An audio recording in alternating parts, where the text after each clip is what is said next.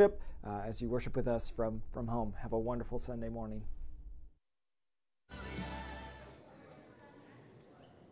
Hey, Michael, what did Adam say on the very first December 24th? Hey, it's Christmas, Eve. terrible, terrible. What do you call a reindeer with a really bad attitude? What? Rudolph. Ha. My kid loved it. If there's one thing I know for sure, that's all families are a little bit crazy. Can you turn it into a prince? And that includes Jesus' own family. He has a crazy uncle that quits talking. He has a cousin that eats bugs. He has a mother with a little bit of a questionable past.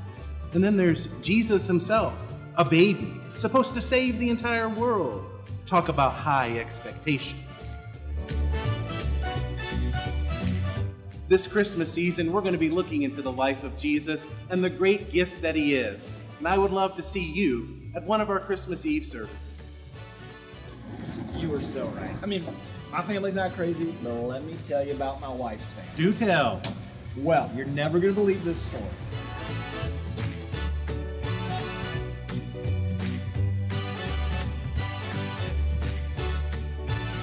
So, what did he say next? And then he said, I know. No way. That's not a true story about Joy's family. A hundred percent true.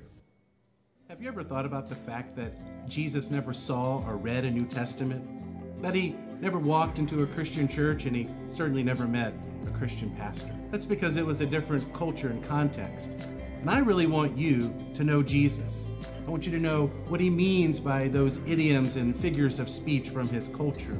So Sunday, starting in January at the 9:30 hour, we're going to begin an in-depth, multi-year discipleship experience where we truly dig into the gospels and we see that Jesus is very much still alive and still active in our lives today. Why are we doing this at the 9:30 hour? Because first it meets an important need at Immanuel to be deeply rooted in God's Word and to have a personal living relationship with Jesus Christ. Also at 9:30, there's something for the whole family from kids ministry to confirmation to student ministry. So here's what to expect starting in January. 8 o'clock a.m. is going to be our traditional service. At 9:30 a.m. is going to be our new teaching service that's going to incorporate praise and worship and an extended time in the Word of God. And then our 11 o'clock martyr service. Whether you feel like you know Jesus just a little bit, or maybe you feel like you know him a whole lot, what I want for you is to fully experience and meet Jesus again for the first time.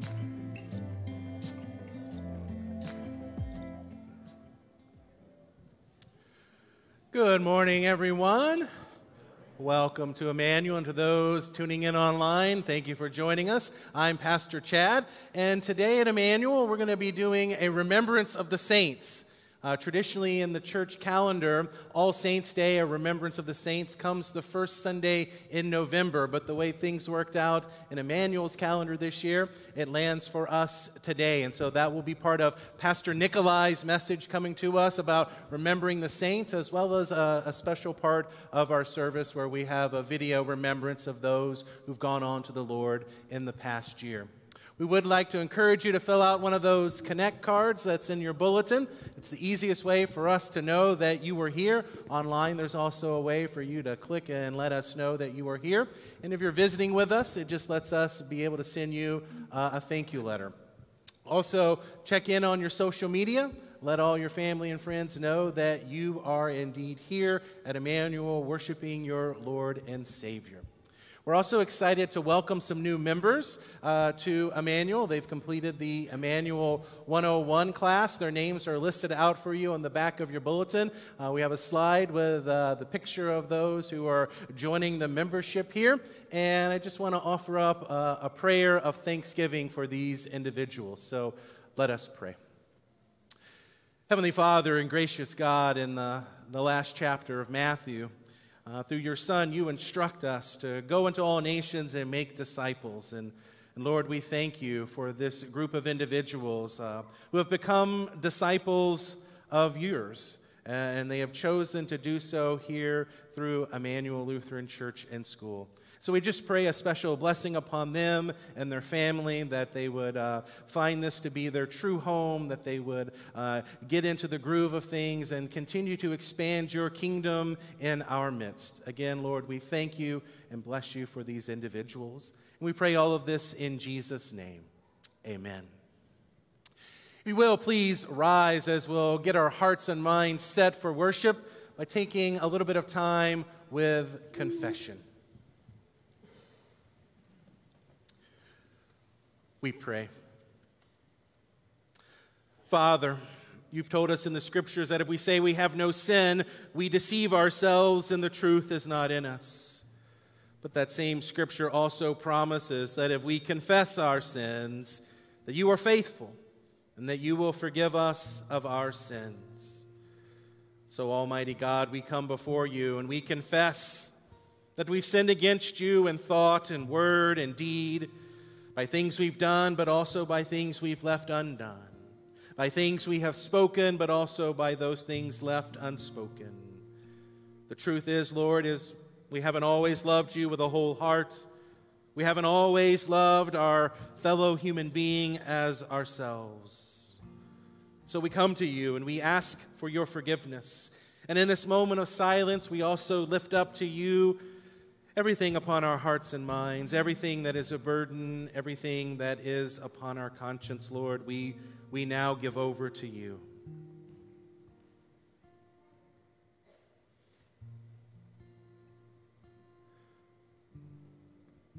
Lord, for the sake of your Son, Jesus Christ, we pray that you would have mercy on us, that you would forgive us, renew us, and lead us, so that we would delight in your will and walk in your ways all to the glory of your holy name.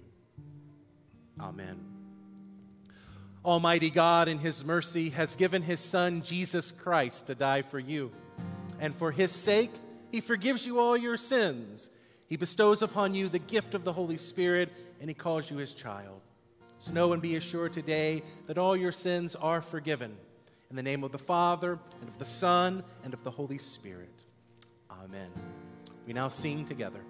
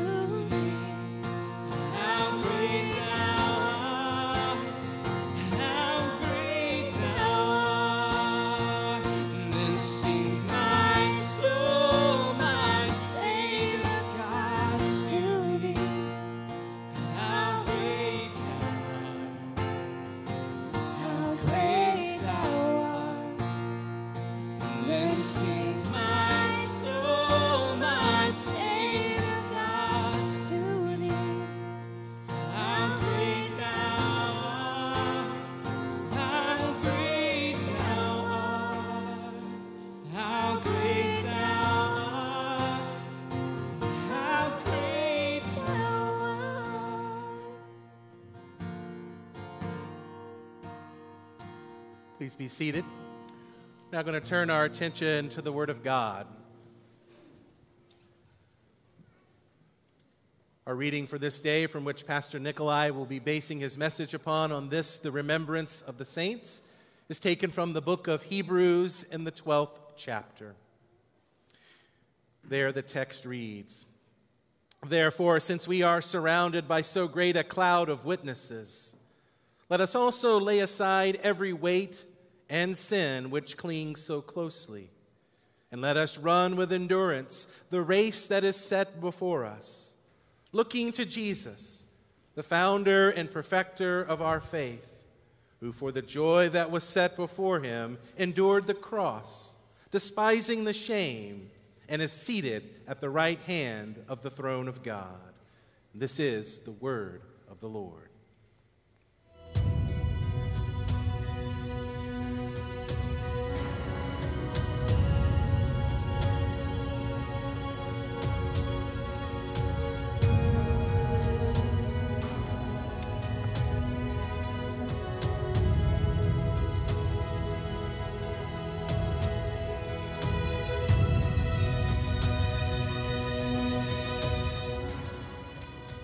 Good morning.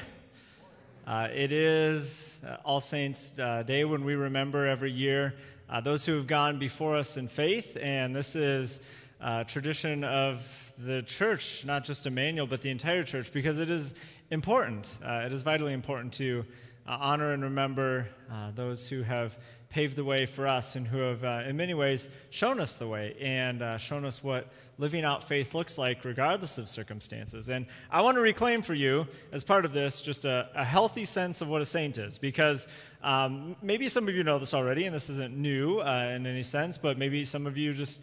You, you kind of have this misconception of, of a saint. You hear the word saint, and you think of someone who is other out there, like someone just better than you, certainly, uh, someone who doesn't struggle with the same things you do, and someone who just has a little bit extra uh, measure of, I don't know, grace and godliness and divinity. And uh, so you think of, uh, you know, those icons that you see, and uh, they're all very stoic and very cool looking.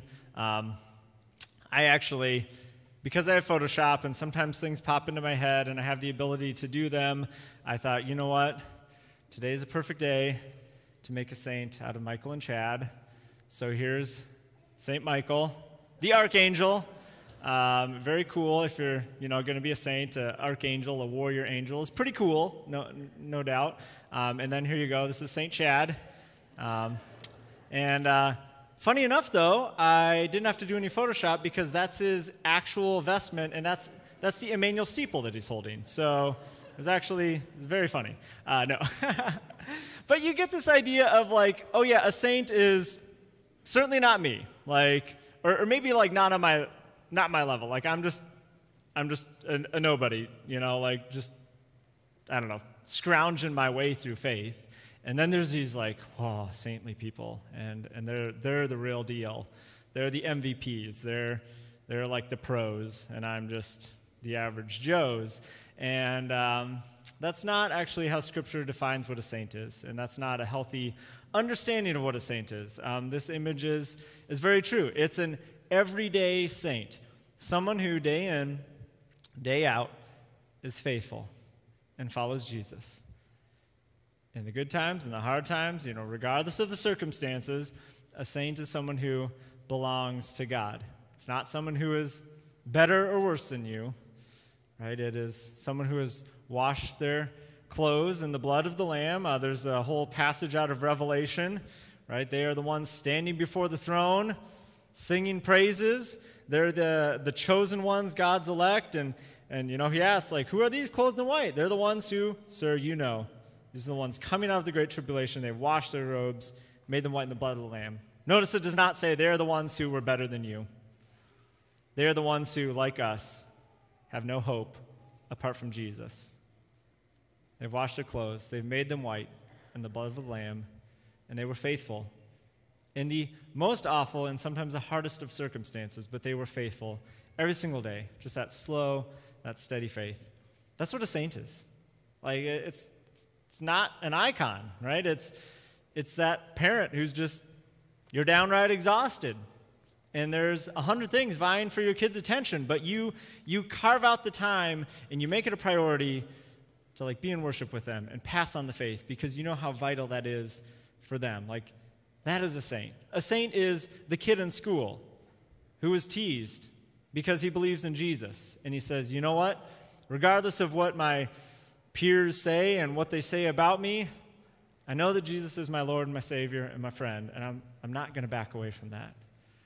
Like a, a saint is, it's someone who gets an awful diagnosis, and, and they still have the audacity to say to their unbelieving friends, like, God is still so good, regardless of, of what happens. I think of uh, my grandpa. Uh, he was nothing more than a dairy farmer in Wisconsin, uh, someone you would never know from the news. He never made a big career for himself. By every worldly sense, he was just uh, overlooked. And yet, he often, uh, well, they lived just down the street from uh, the church in town, and he would uh, go there and help tidy up and fix things and keep things organized, and no one ever saw it. Like, that's what an everyday saint does and is. Someone who's makes just a simple living, but they're just ridiculously generous because they know it's not about them, it's about others.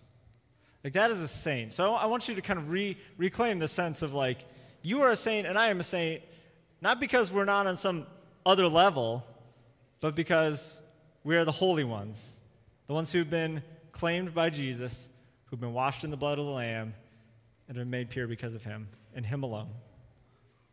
And uh, something you often overlook, uh, you've said this creed probably more times than you can count, uh, the Apostles' Creed. And the danger of saying something uh, in repetition over and over is you just do it mindlessly. And you've said this phrase so many times, but, but I want you to see it new. Like, I believe in the Holy Spirit, the Holy Christian Church, the communion of saints. That it's not just here at Immanuel, it's not just everyone gathered here, it's not just all of you gathered online, it's the communion of saints throughout the world. Even the ones who aren't Lutheran. I know this is, this is a shock. Yes, this is a shock. Um, and then, even more so, in a mysterious divine way, that we have a unity with even those who have gone before us. That you and I have this unity with Moses and Abraham and Jacob. That we are more united with them than someone who is in your community right here, right now. Like, this is just kind of this mysterious communion of the saints. And we also have to recognize then that what we have is because of them, certainly through the Holy Spirit, but like we have faith because they were faithful. That you, sitting here this morning, worshiping online, you're here because someone else believed, taught, and lived the good news of Jesus every single day, regardless of their circumstances.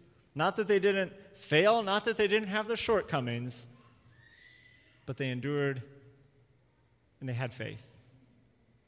Uh, that's where Hebrews 12 kind of brings us. Like, surrounded by this great cloud of witnesses, uh, you here, this cloud of witnesses, as well as like those who have already died and gone before us, surrounded by that cloud of witnesses, we get to lay aside every weight and every sin. Because when you're faced with a life and death situation, you suddenly have clarity on what actually matters. Isn't it true? Like, you're not worried about where, I don't know, where you're going to go to dinner tomorrow. You're not worried about how fancy your car is. You're not worried about uh, bumping up in your career. Not worried about your house. You're not worried about your stock market. Like when you're faced with life and death, you, you suddenly have this clarity on like what actually matters in life. And so we remember the saints, we look to those who have gone before us, and they give us clarity on what actually matters. That we lay aside every weight. The things that the world tells you are so important that you have to have, especially around the holidays. There's a lot of have to haves, right? Uh, I, on my Christmas list, have a $92,000 uh, aircraft that I would love to have. Um, my mom is probably not going to buy it for me, but, uh, right? There are so many things, every single weight the world puts on you. You can look to the saints and say, you know what? It's not that important. Every sin, everything where you're like, I just want what makes me feel good. I want to satisfy my own desires, my own pleasures. You can look to the saints and say, you know what? Jesus offers something far greater than the world or Satan ever could. And so we lay those aside and we run with endurance the race that is set before us. Because what God is calling you to is not to be strong, He's not calling you to be fast, He's calling you to keep running. At times you think, it all rests on me. I've got to be strong. Guess what? That's not what God's saying to you. Or the best Christian is the one who can pivot and adapt to the cultures the fastest. The best church is the one who can adapt to the culture the fastest. That's not what God's calling us to. He's calling us to endurance, to keep running, to keep putting one foot in front of the other, regardless of the circumstances, and endure in faith. And how do we do that? Well, verse 2 looking to Jesus. Like those who've gone before us and us here today, we do the same thing. We look to Jesus, the founder and the perfecter of our faith, and we follow his example. He's not asking us to do something he didn't do. He endured the cross, despised its shame, and now he's seated at the right hand of the throne of God, and he has all authority over life and death. I have this picture hanging in my office. Um, and uh, I took this uh, very near to Mount Nebo, where uh, Moses looked into the promised land uh, and died before he ever entered it. Um, you, you, might be able, it's kind of hard to see on the screen, um, but there's the words, great is your faithfulness. Uh, Michael, being the snarky guy that he is, he's like, How'd you get a picture with text in the sky? And uh, I had to explain to him how Photoshop works and, you know, all that good stuff. No. Um, but, but I wrote those words, great is your faithfulness. Um, uh, from, I mean, this has been used in many hymns and many songs, as a reminder that just like Moses, who stood there, I mean, you see this barren, desolate mountain. Nothing's growing there. But uh, just in the distance, uh, you can barely see it through the haze of the sky, but there is the lush, green Jordan River Valley. That's the promised land. And so Moses worked his entire life for something that he never got to realize. Uh, he was still faithful. He knew God's faithfulness, even though he didn't see the fullness of it all come together for him. And it's a reminder for me that as I serve, as I live, that even if I don't see all the benefits now, the world tells me I deserve it, that I should have it. And God tells me that He's faithful. And even if I don't get to step foot into that promise yet, I'm still going to follow Him every step of the way through that barren wilderness. Uh, if you look back in Hebrews, uh, we're in verse, or chapter 12, excuse me. Uh, but if you look back in verse 11, and context is usually everything, uh, it gives this what precedes.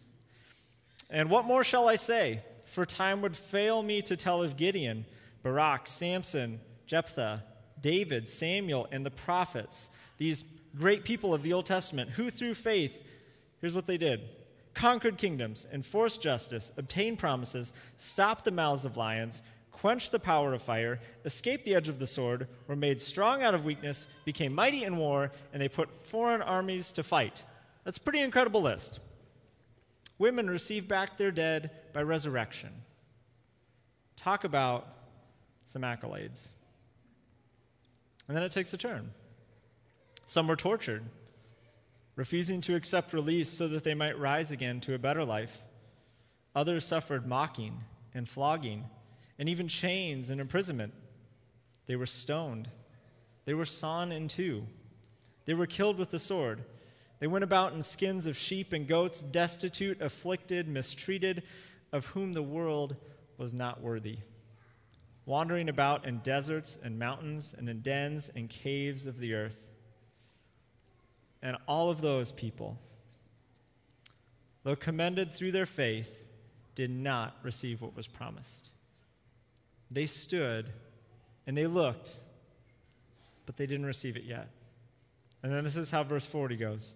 Since God had provided something better for us, that apart from us, they should not be made perfect. And so they wait.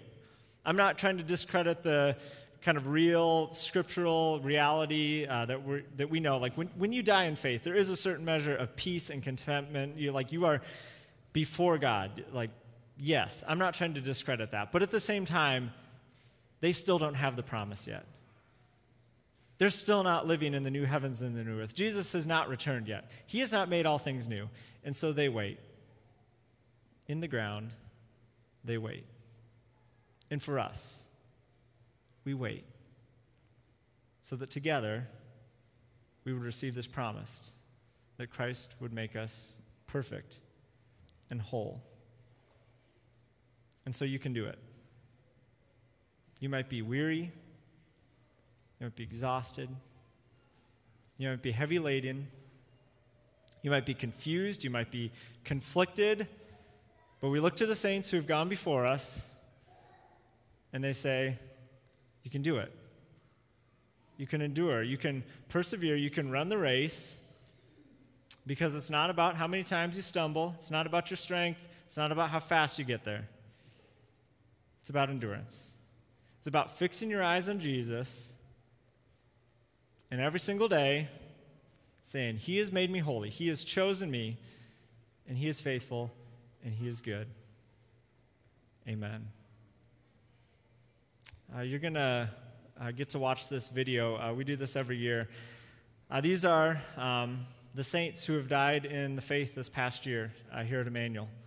Um, and as this video plays, you will no doubt uh, like me, think of other loved ones in your life. And you'll think of those moments um, when their faith sort of influenced your own, when their life influenced your life. And we get to give thanks to God for that uh, because it's those, those moments, um, their character, their ability to um, be faithful to Christ in all of their life that gives us that encouragement and that hope uh, for what we go through as well. And so at this time, we remember the saints.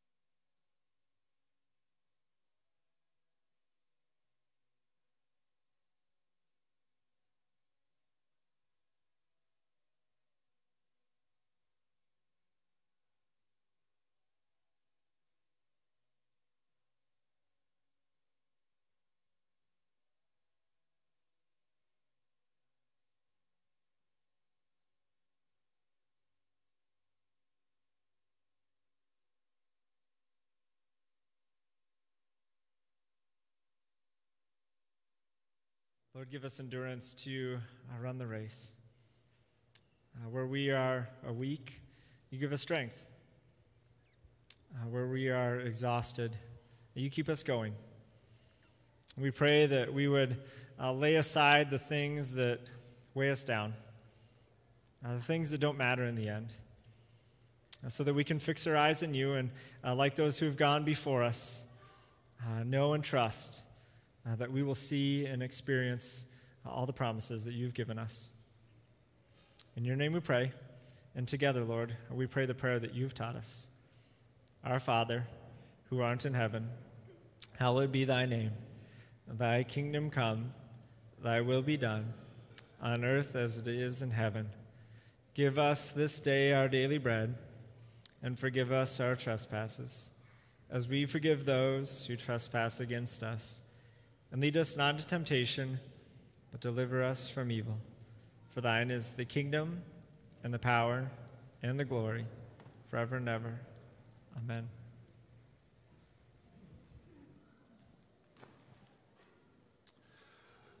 We now get the privilege to join that company of witnesses and lift up our voices and prayers for our community and those who have requested prayers from us. So, if you will, please rise.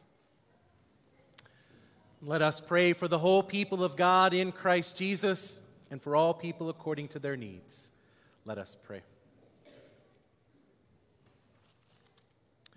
Almighty God, you have knit your chosen people together into one communion, into the mystical body of your Son, Jesus Christ our Lord. Give to your whole church in heaven and on earth your light and your peace. And grant that all who have been baptized into Christ's death and resurrection may die to sin and rise to a newness of life, and so pass with him through the gate of death and the grave to their joyful resurrection. Lord, bless all in authority over us especially those who work to bring peace and justice, that they may be inclined to your will, walk according to your commandments, and grant wisdom to our citizens, and courage and competence to our leaders. Preserve all who travel this holiday weekend. Be with those in need, the sick, the injured. And also, Lord, be with those who have requested prayers on behalf of healing from us. And so we remember Martha, Jennifer, Elise, Gail, Doug, Nora, Michael, Stacy. Lord, we also want to remember those who have lost loved ones, who are mourning and grieving. We pray that you would surround them with your presence and that we, in whatever way is necessary, would also be able to bring them comfort. And so we remember the friends and the families of Gordon, Glennis, and David.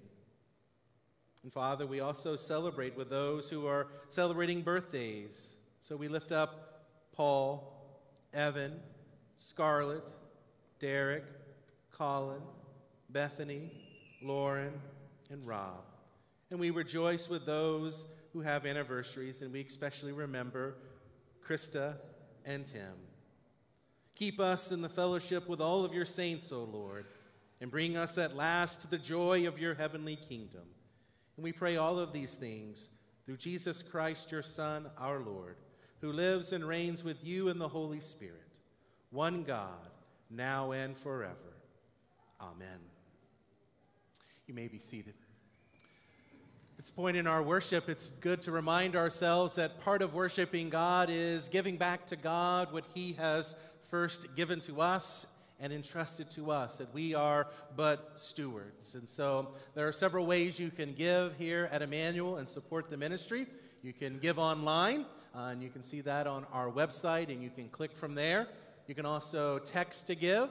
Uh, and there are also instructions on the back of your bulletin for ways to give. There are also boxes at our exits in which you could leave your envelope or your offering there. So we now turn to that portion of our service for the Lord's Supper. The questions will appear on the screen for you to contemplate. But also, it's important for us to keep in mind that we're not just communing here with ourselves and God, though we are doing that. We aren't just communing with ourselves and God and those who are gathered in this building today, though we are certainly doing that. But communion is a time in our service that transcends time and space. It is when heaven comes down to earth and the two kiss. It is where the earthly and the spiritual become one. And so, those we commune with also include that great cloud of witnesses. It includes everyone that we saw in that video. It is the eternal church of God, past, present, and future, that gather in and around his table to receive his body and his blood for the forgiveness of our sins. Our Lord Jesus Christ, on the night when he was betrayed, took bread. And when he had given thanks, he broke it and gave it to the disciples and said, Take, eat. This is my body, which is given for you. Do this in remembrance of me. In the same way, also after supper, he took the cup. And when he had given thanks, he gave it to them, saying, Drink of it, all of you. This is my blood of the New Testament, which is shed for you for the forgiveness of sins. Do this as often as you drink it in remembrance of me. These, these are the gifts of God for the very people of God. I'd like to invite those in the balcony area to begin making their way forward. Also, there will be non alcoholic wine and gluten free wafer options available on the table. And we'll invite our communion assistants to come forward. Welcome the table of our Lord.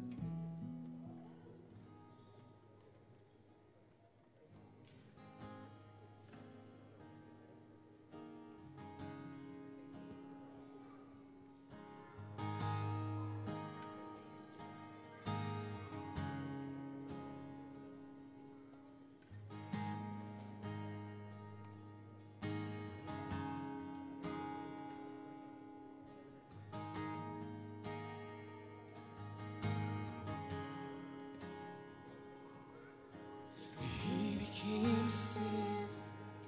Who knew no sin,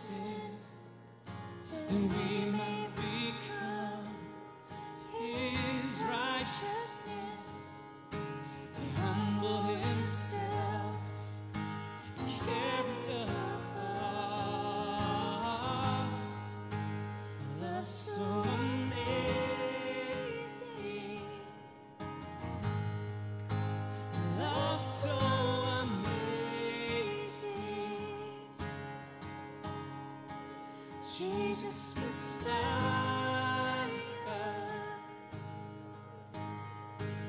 Name above all names. Blessed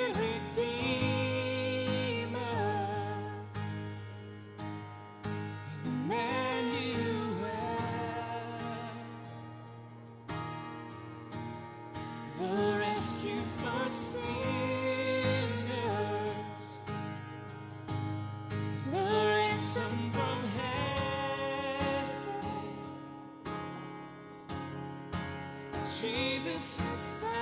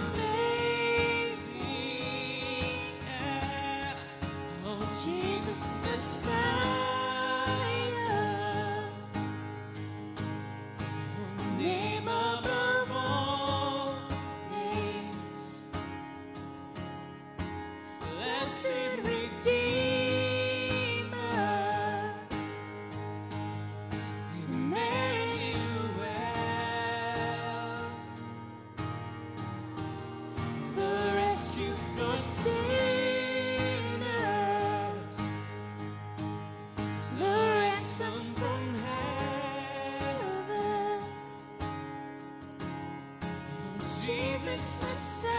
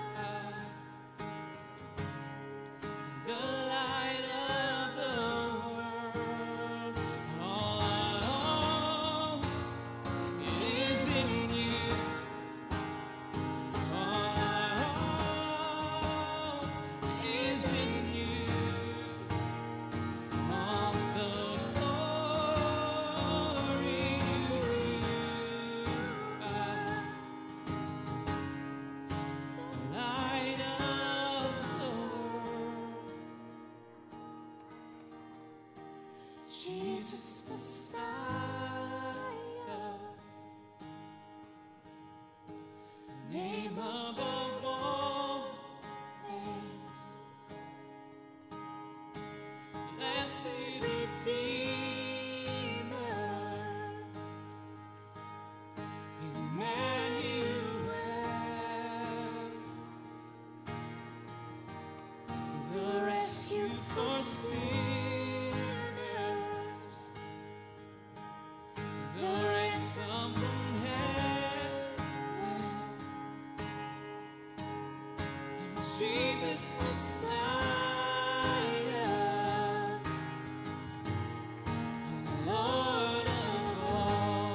Sing Jesus Messiah